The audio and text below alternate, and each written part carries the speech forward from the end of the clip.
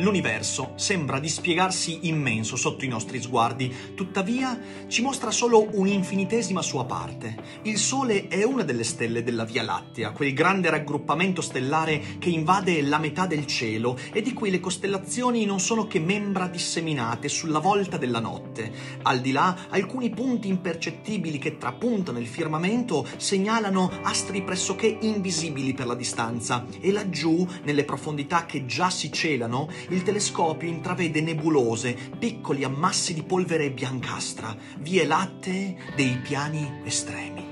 Si può così prolungare l'indefinito a nostra discrezione, senza oltrepassare i limiti dell'intelligenza, ma anche senza scalfire l'infinito. Se ogni parola indicasse le più spaventose lontananze e se si parlasse per miliardi di secoli, non si esprimerebbe altro che qualcosa di insignificante in rapporto all'infinito.